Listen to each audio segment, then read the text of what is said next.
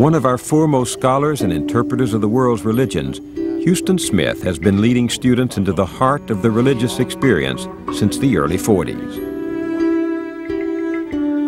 Born in China in 1919, the son of American missionaries, he was surrounded during childhood by a culture that accommodated a rich variety of religious beliefs. This variety finds expression in his now classic work, first published when he was only 38 years old and since read by millions. The chapters on Confucianism and Taoism, two of the traditions we explore in this program, are among his most eloquent. What he has learned, he has applied to life. Spiritual practices like yoga, which concludes this program, inform his daily journey. But we begin with the yin yang, symbol of the Taoist approach to life.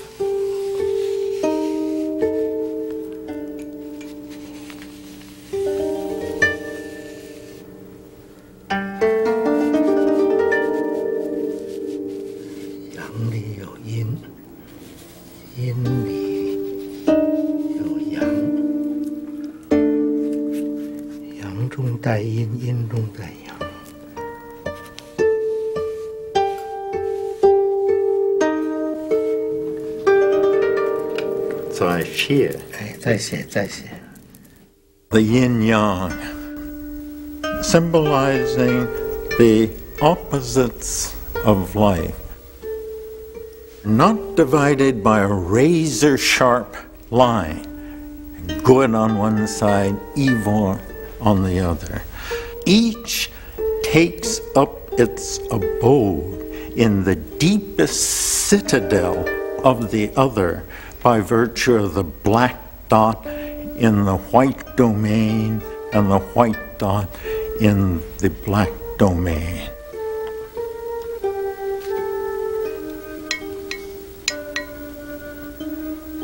Symbolizing the mystery of the relationship between the opposites that characterize and make up our lives and how they can be united, brought together.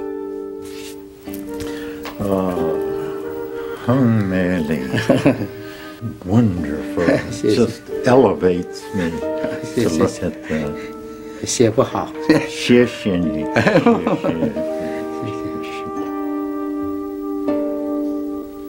Chinese will say you can learn more about life by contemplating this yin yang symbol. Of course, this comes out in many stories. Let me tell you a short one because one of my favorite about the man who uh, whose horse ran away, and his neighbor Solicitus comes over to commiserate with him, and all the man says, "Who knows what's good and bad?"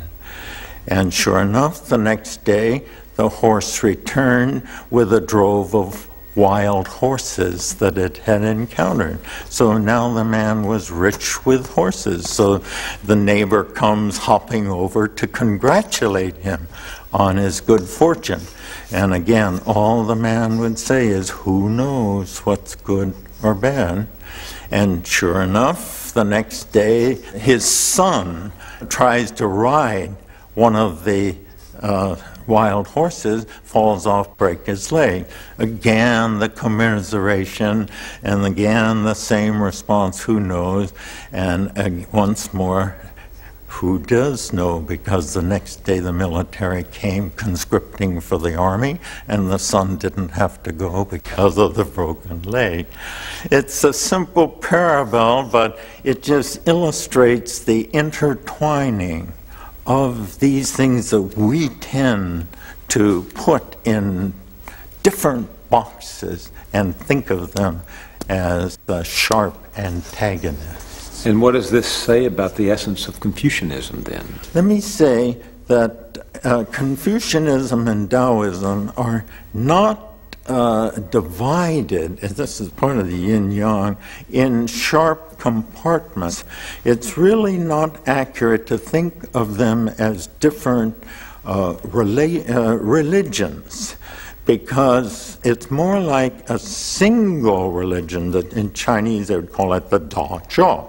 Uh, which uh, church are you uh, belong to? I belong to the Great Church, of course, which includes Confucianism and Taoism and Buddhism and a good smattering of shamanism and folk religion thrown in. Every Chinese traditionally was a Confucianist on state occasions, like our Memorial Day parade and things like that. Uh, when illness fell, they would call in the Taoist sages up in the mountains. They know about these healing herbs and also they know about spirit. And then when death comes, why then you come, uh, call in the Buddhist priests because they knew about these afterlives, reincarnation, and other realms. We Chinese, you know, we're flat footed. We don't know. We know about this world, but you can't be too safe and careful, so we better tap their wisdom about what's going to happen after that. So, as I say, all three of these uh, uh, coalesce into one. And if I can take the time for a little uh, enjoyable anecdote, a long time ago, when I was explaining this principle about how in China the religions are related differently than in the West, not as competitors, why, the next day a student brought me a Dear Abby column which made this point with a graphicness I could not have conceived. It was a short letter, I'll read it. Uh, uh, uh, I remember it. Dear Abby, I am uh, 31 years old uh, uh, and attractive, and I'm interested in religion. Uh, I am a member of the First Methodist Church, Blessed Angels Catholic Church, and B'nai Emunah Synagogue. Uh, I also attend Christian Science services uh, though I do take aspirin occasionally. uh, please, I'm interested in getting married. Can you tell me how I can meet a man who is interested in any or all of these religions? Signed, Ida. Now comes back Abby. Dear Ida, you seem to have the bases covered. And then, but now, the lesson. I do not see how you can belong to all these religions. Well, of course, Abby couldn't see that because she was Western. But for Chinese, there would be no problem at all because these religions service different components of the human self. And you ask, how does this relate to Confucianism? Well, this basic attitude toward the intertwining of the opposite just pervade all Chinese culture, and if we want to be literal, we can say Confucianism and Taoism too are in this whole, but each laps over into the domain of the other. You were strongly influenced, were you not, by growing up in China? I mean, you began in this small village, right? Zhangzhou. That's my hometown. It's located 70 miles northwest of Shanghai. And the only way we could get to Shanghai was five hours by barge and another hour on a train from Suzhou. Every childhood, if you know nothing different, seems perfectly ordinary, the way the world is ordained. Of course, we knew that we were different. Ours was the only house in town that had a porch, and I remember the most fragrant roses there. After breakfast, the whole servant's family would come in, and there'd be a reading of a chapter in the Bible and the singing of a hymn. My mother taught piano as her mission. A mountain rose just a few feet back from our house. On top, there was a pagoda built to incarcerate evil spirits. Most of the religion that lapped around us in this tiny village was folk religion, which centers in evil spirits, of which they're innumerable and mostly bad. So the Christian message that my parents brought gave a certain population in this town a spiritual anchorage that the folk religion that lapped around them did not. When we looked out uh, back window in cold weather as well as warm, we would see people on the mountain doing their Tai Chi Chuan, you know, early in the morning. And even though they, as you know, the gestures are so graceful, choreographed, looks as much like a dance as a physical exercise.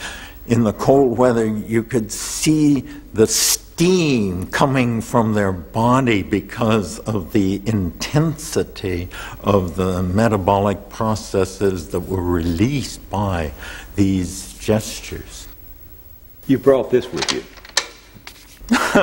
this is my first primer because though our uh, education was English, three afternoons a week, Monday, Wednesday, and Friday, they would import a tutor and he would give us uh, uh, the rudiments of a Chinese education. You remember it still? I don't even have to look at the words, but they found it goes, dee da di di xio ku ku bo di di ho ku ku ho di di ni a nge nge a ni ku ku chang ku nge pa je nge ye san mo da xio.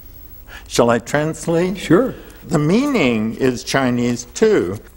Big brother is big, little brother is little big brother carries little brother.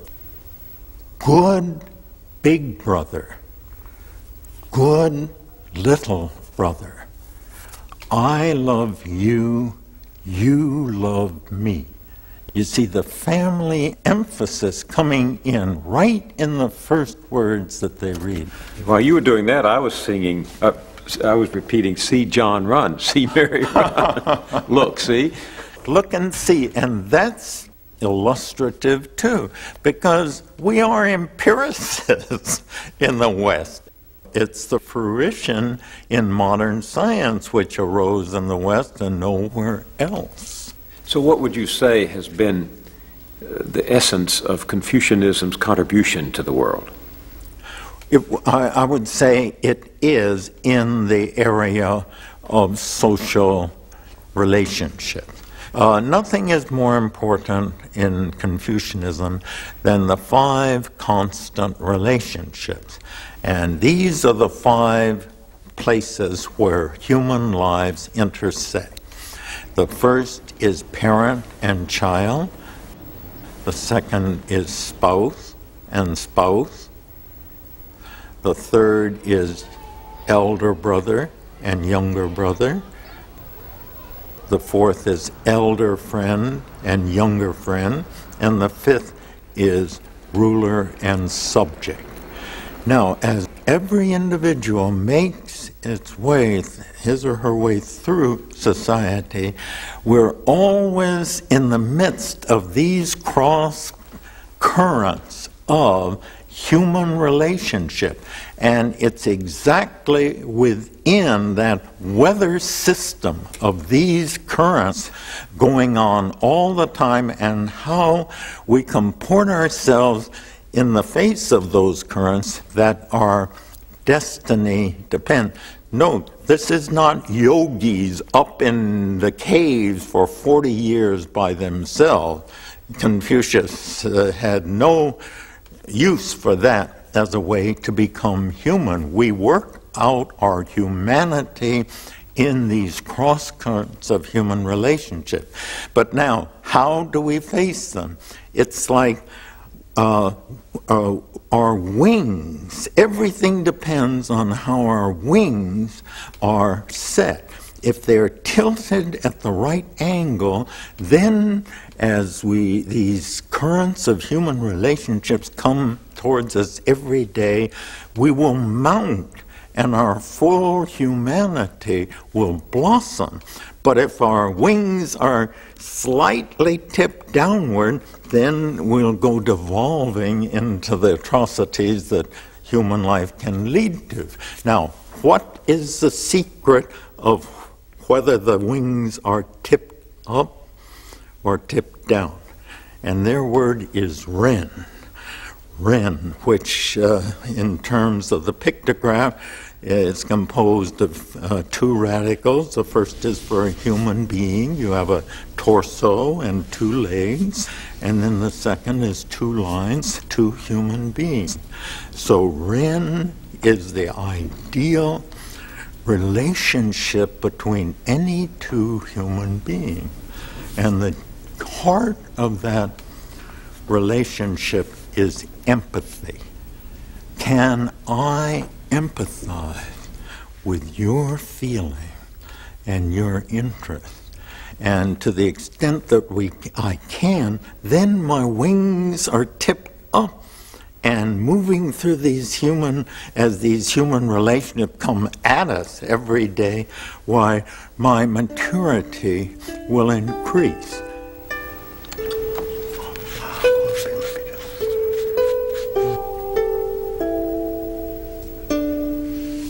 A sound man's heart is not shut within itself, but it's open to the hearts of others. If it is sincere enough, it will feel the heartbeats of others as if they were its own.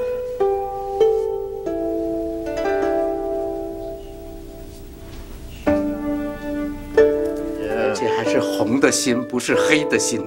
Oh, don't. 要好的心，不是坏 The 的心。 character for love, and you have highlighted the character for heart, which is right at the center 对 of the sentiment of love. 对， Just one last step. In this ongoing Confucian project of human maturing or fulfillment, quest to, to become, he would say, to become fully human, because this is our potential in life. It goes, this empathy, Ren, this quality of empathy, uh, goes like ripples of circles into wider, wider confines. Beginning first, I try to overcome my self centeredness in the family and have their empathize with their interest equal to myself. But if you do that, then you have a kind of nepotism. So the next step is to break beyond the family uh, to the community, your town. But if you stop there, then you've got provincialism. So you should extend this empathy to your own people, all uh, black haired children of Han. But if you stop there, then you've got nationalism. So you've got to expand that empathy to the whole world in the among the four seas all men are brothers and we would add all women are sisters. And now you might say well we've reached the limit. Oh no because the human scene is set within the cosmos. And therefore it's a mistake that because to think that because Confucius did emphasize the human, it is a kind of humanism, stops with humanism. No, we have to empathize with the universe, with all nature. It's the imperative of the social order, of our living together in a civilized way. That is absolute. I said, sorry to say absolute, almost absolutely true, because uh, again, we have to beware of mistaking this emphatically human emphasis for the all of his. He did believe in heaven, and he did say, "Heaven only is great, earth is small." Therefore, it's not just a, a stunted humanism, it's a humanism in a cosmic environment. Somewhere you wrote that, that Confucius believed he was creating our second nature. What do you mean by that term? Our, what was he doing in creating our second nature? Our, our primary nature is biological, physical, DNA and the like. Our second nature is cultural. And he was creating a culture which would shore up these ideals in the direction that would bring human fulfillment. And that's why he was so attentive to cultural forms. The dance, the music, is a wonderful line because I happen to be audio sensitive. That on one occasion uh, he heard a melody on a flute and he lost his taste for meat for three months.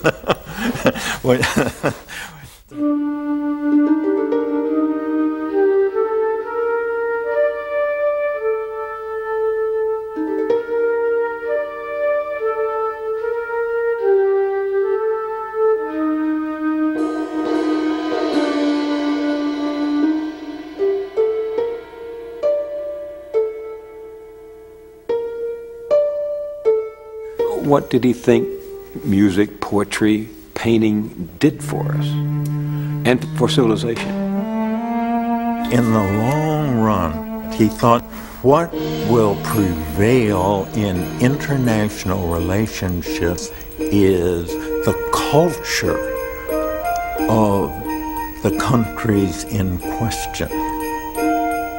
Kublai Khan conquered China physically, but after a generation where you find Kublai Khan apprenticing himself to his conquered slave in trying to create calligraphy, and already he is hoping against hope that he will be mistaken for a Chinese. There is the melting pot culture that by its own refinement attracts people to emulate. Did all of this influence your decision when you came back to the United States to make comparative religion the work of your life? When I came to this country, why, uh, at first I thought I was going right back as a missionary. How old were you then? I was 17. And my only American male role model was my father. And so I grew up assuming that missionaries were what American boys grew up to be. But I was totally unprepared for the dynamism of the West. You know, never mind that it was Central Methodist College, enrollment 600 uh, in Fayette, Missouri, population 3,000. Uh, compared with Podunk, China, it was the big time and the bright lights, and by two weeks, uh, China had faded into a happy memory. I wasn't going to squander my life in the backwaters of rural China. But I just moved over uh, across the street, so to speak, um, and I'd be a minister. And then uh, that held in place for about two years. And then in my junior year, something truly extraordinary and amazing and unexpected happened. I, I entered college and I wanted to be big man on campus. And so I entered all the organizations I could get into. That was my extroverted nature.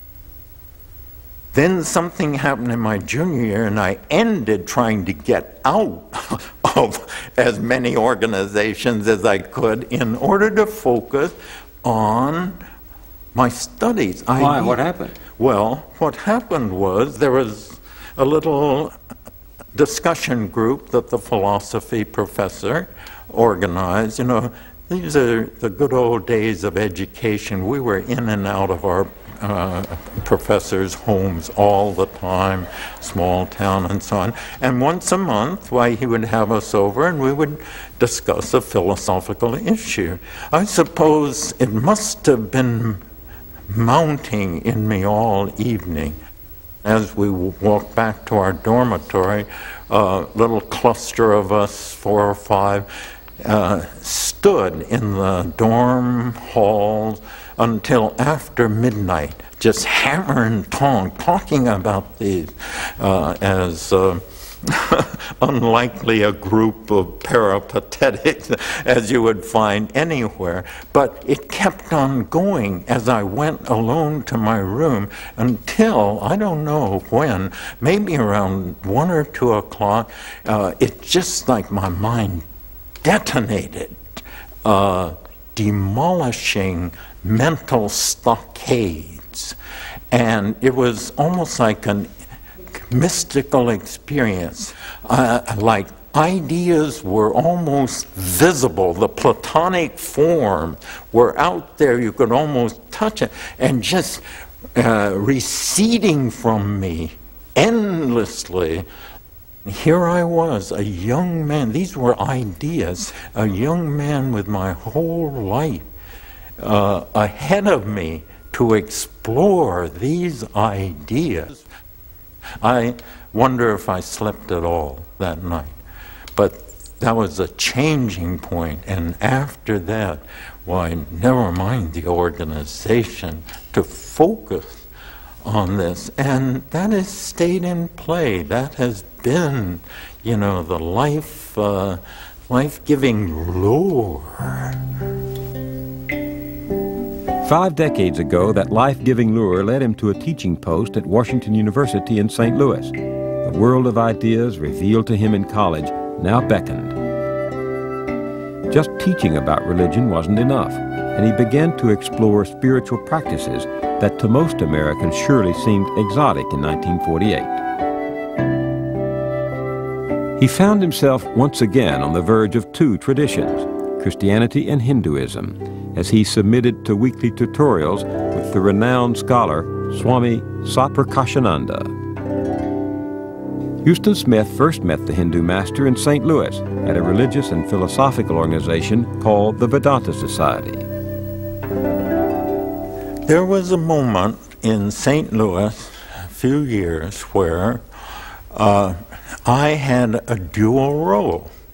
I uh, was listed as associate minister at the Methodist Church nearby and was uh, president of the Vedanta Society of St. Louis, which was uh, teaching me metaphysical profundities that uh, my church certainly was not preaching. That this all came to a head on Christmas Eve because uh, there would be a four o'clock Christmas service uh, at the church which would be a family affair in the afternoon so the children could come. And that was wonderful. Christmas music, silent night, all of that, all of the magic of Christmas and being together with our children was just glorious. But then we would go home, have a supper, uh, put the children to bed early for their early rising, for the, and then I would slip off to the Vedanta Society, where every Christmas Eve, Swami Satprakashananda, he never varied his title, was Jesus Christ, the light of the world. And even though in the Methodist Church there was all the happiness of the family togetherness, when it came to spiritual depth, what he said, the Swami said about the incarnation, fed my soul more than any Christmas sermon in the Methodist Church. The reason? The Swami literally believed in the incarnation, that God had metaphysically become a human being. Now, you see, I'm a living witness to the fact that I have drawn spiritual succor from an alien tradition, which, however, was true to the metaphysical teachings of original Christianity more than my church, which had been diluted by modernism. I cite that simply as an evidence of the missionary enterprise to this country and how it uh, bears fruit. I've been asked many times, uh, son of missionary, do you believe in the missionary enterprise? And uh, the, my answer is yes, both ways. Uh, I know from experience that my parents brought a word to our small town that had never heard of Christianity that was crucially important for a number of people. Now that I'm older, I likewise welcome the missionaries from uh, Asia that uh, are uh, very much uh, in evidence in our own culture, and I think the same thing is happening. There are people who uh, have been wounded by their own tradition, wounded Christian, wounded uh, Jews. What do you mean, wounded Christian, wounded Jew? Uh, the, their experience with their institutionalized religion has rubbed them the wrong way, and therefore those negative features that they excessive moralism and we've got the truth exclusivism uh, that has become their image of what Christianity and Judaism basically is, and therefore they want none of it and find it difficult to uh, pierce through that to the inner meaning. What are these emissaries from these other cultures, these other wisdom traditions, Buddhism, Taoism, uh, Shintoism, what are they bringing to this country? They are bringing an emphasis on direct experience and a method for attaining that. I happen to think that the world's historical religions divide into three families, each with their distinctive characteristic.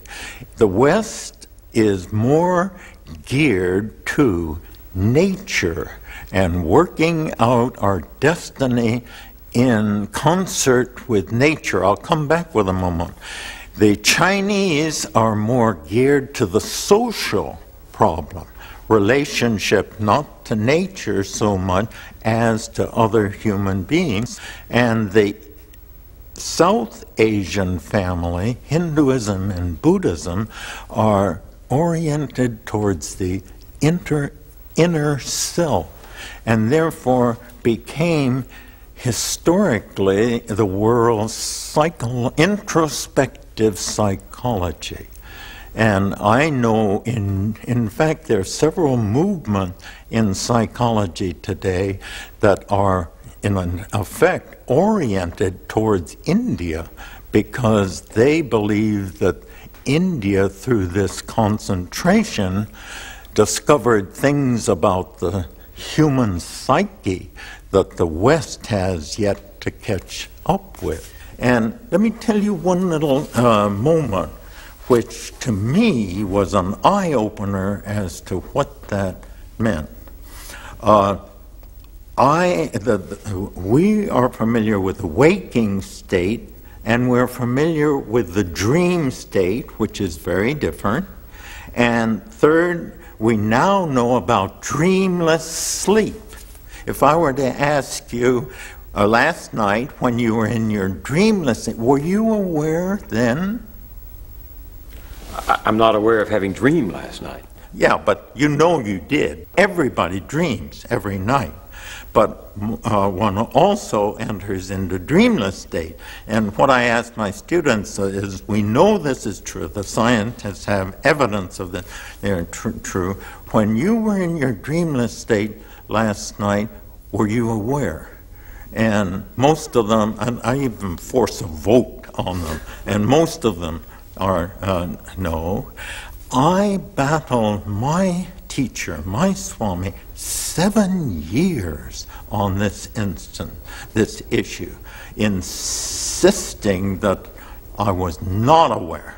And he said, No, that's wrong. You were aware. Well, I came back, well, at least I wasn't aware that I was aware. And he said, That cuts no ice because note how difficult it is to remember your dreams. We know about that. When I wake up and I have an interesting dream and I want to tell Kendra in the morning, I have to consciously say it through in my mind, hoping that I will remember it because it volatilizes so fast when we come to consciousness that it's very hard to remember even dream. Now, my teacher said the dreamless sleep is deeper than the dream state.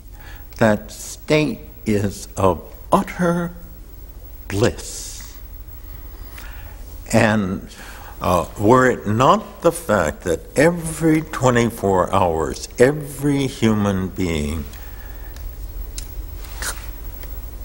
establishes direct contact with that experience of utter joy, we simply could not keep up our hope in human life the hard knocks, the pressures, the dismal aspects would just overwhelm us and we would not be able to, to keep our spirits buoyant. So that's why sleep is restorative. That, one absolutely. Of one of the reasons, physiologically, of course, but spiritually also. So the good Hindu would say, there are realms of gold hidden deep. That is the realm. This would explain to Hindus, the Hindus' obsession with the oneness of reality and the whole importance of yoga of trying to get in touch with this inner unity, this inner reality, wouldn't it not? It would. Yeah. When in the West we think of yoga, we think of a specific kind, which is called hatha yoga. Now, Hatha yoga deals with physical exercises, postures, positions, poses. But in India, Hatha Yoga is embedded as only one of eight steps in a complete system of personal transformation. if you were to carve it out of its place in the eightfold sequence, then it would be purely calisthenics. But overwhelmingly in India, it plays its part as the third step in a program of transformation designed to pick you up where you are and set you down as a remade human being.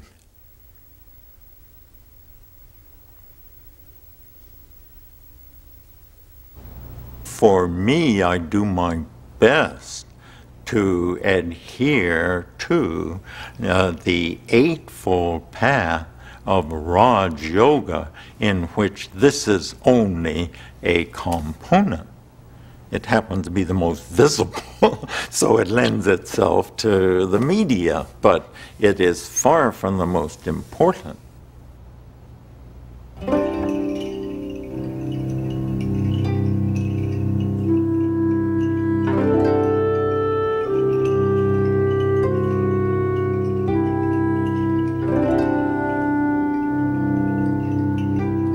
Huston Smith rises early in the morning to practice yoga.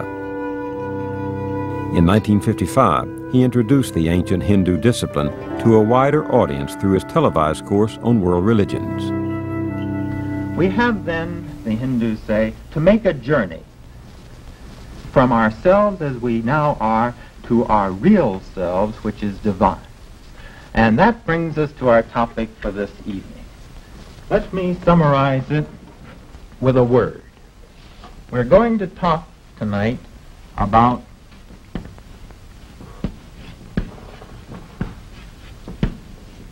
the yogas. Now, this is a very strange word to us. In fact, uh, uh, I find myself smiling in a Western context whenever I turn to this word because well, we associated with the bizarre, the fantastic, the occult, maybe even the fraudulent a little bit, the fakers. Uh, this is where they come to, we come to the famous yoga position, and I want to just show you what this is. There's always a, uh, a little humor involved in this because it's so strange to us. But nevertheless, I think we ought to know what this is. They say the most effective position which will still the mind is the so-called yoga, the lotus posture. You, it doesn't go very well with shoes, which is why I've taken mine off. Actually, it doesn't go very well with trousers either, but we'll forget about that tonight. You put one foot up here in the lap, then all you have to do is to bring the other foot around like that. The spine must be completely straight.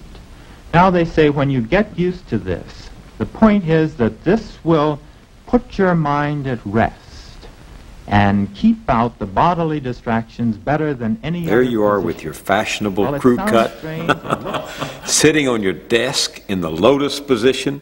That was in the 1940s and 50s not many people knew much about yoga allah buddhism meditation in this country. And I remember that's true. I remember one little item at the life that came back to me from the mail, and it was on just one of these quickie cards that fold together, and not even an envelope. And it said, "Dear Professor Smith, this letter will not be long because I cannot write well in my present position. I have my left foot in my right pocket." and my right foot in my left pocket. How do I unwind? I am waiting your next program. uh, but it caught on because, possibly because it was also new to the people. have you been doing it ever since the 40s when you were introduced to it have you been practicing yoga Yes. and what happens to you when you're in this state?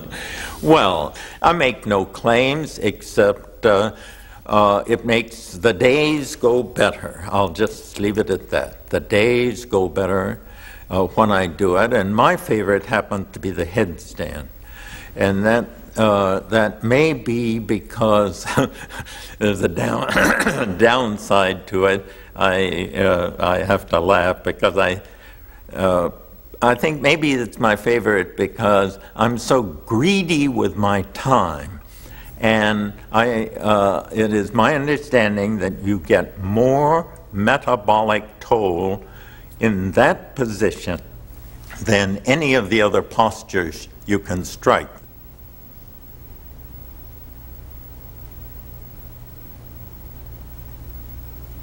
Now, this is a very complicated concept for people, so let's stay with it a moment.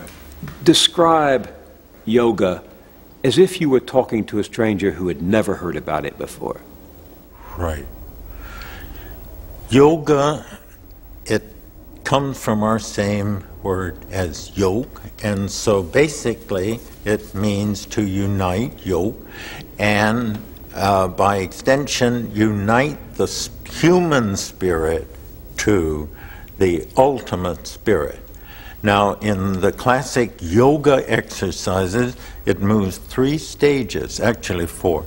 It begins with certain moral preliminaries, because if your life is in chaos and troubles with other people, you aren't going to be able to have a still mind. So straighten out your life in basic morality. Having done that, then it moves on to the body because we are psychosomatic people. We have bodies and we have minds, and we're learning more and more about the interface between those two. So the work with the body begins with certain es, uh, asanas. Uh, they, asanas is postures, and some of them are to produce flexibility and to keep our muscles from just contracting over age. But then the other aim is to quiet the body, to still the body. You know, you can lie flat and you'll be quiet, but how about being alert? Having done that, they move on to the breath, as it were, the doorway between the mind and the body. And breath is, is, is essential to this. It's really a concentration of the breath, isn't it? The breath is probably the most useful thing to concentrate on because it is like a bridge from the physical. It is physical. Air is physical, and yet it's invisible, and it is so diaphanously physical that it is a natural link between our bodies and our consciousness. And then from the body, we move on to the mind. If it wanders, you simply notice that it's wandering and then come back, bring it back to counting your breaths, which is a good way to bring the focus of the mind.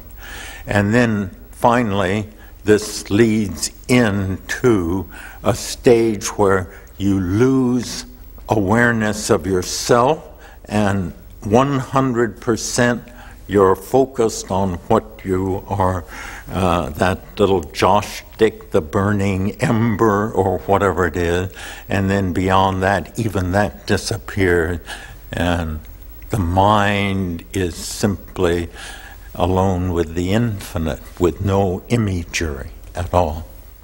Well, I have more than just an intellectual curiosity about this because even as we talk, I'm undergoing a program in cardiac conditioning right here in New York at Beth Israel Hospital. Oh, uh, good, good. And the third part of this program is elementary yoga. Yeah. And I'm only a novitiate. I'm brand new. I've just been well, welcome introduced to the club. To but I wish we could find words to explain to people what words barely hint at, because it is a, a changing consciousness oh, that somehow calms the emotions liberates the mind from this frenetic running. And by the end of the hour, uh, well, there's an old Taoist saying, to the mind that is still, the world surrenders. Yeah. And there is a moment at which it simply seems my life is li- as still as the reflection of the moon in the calm of the lake. Wonderful, wonderful. But again, these are only words, they're not the experience. Of course, of course. But as they say, eh, they are pointers to the moon, even they are not the moon, but they give, as you spoke, you know, I get the sense of what you're saying. But it's not a weird experience. It's just an unusual experience because we are so, we in the West are so unaccustomed to this kind of natural state of yeah. being.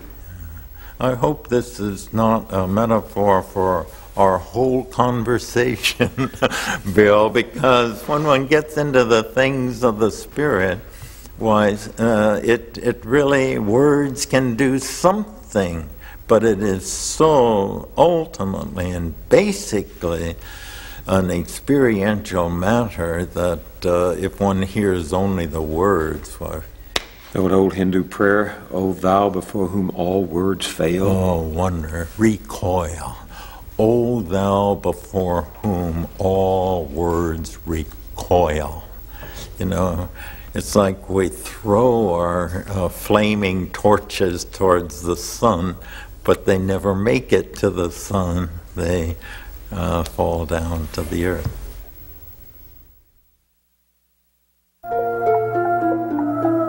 Next on The Wisdom of Faith with Huston Smith, The Power of a Life. This is charisma, and the charisma comes from that spirit. The Force of Tradition.